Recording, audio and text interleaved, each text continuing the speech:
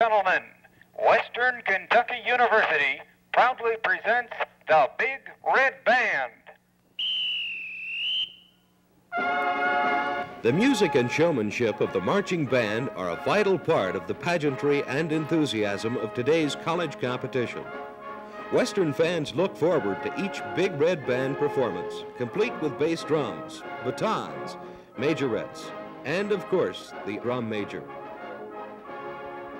The Big Red Band performs regularly at L.T. Smith Stadium.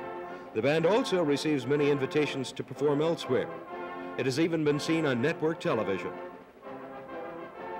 Band members are not only music majors. Performers come from nearly every one of the university's academic departments. The Big Red Band, an important part of Western Kentucky University, where a blend of past and present is preparing students for their futures.